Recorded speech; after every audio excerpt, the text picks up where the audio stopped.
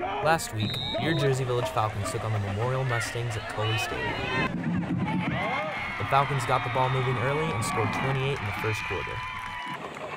Let's go, Falcons! They kept their momentum going and ended the half up 42 to 17. The Falcon defense held on strong and ended up winning by a score of 56 to 27. Raymond Richardson threw for five touchdowns in the game, four of which were to wideout Jordan Jones, and racked up a total of 438 yards. Christian Peguero also rushed for two scores, and Jonathan Cervantes went 7 for 7 on extra point attempts. Be sure to come out this Friday at 7 o'clock for the Jersey Village homecoming game against Cy Fair at Pridgeon Stadium.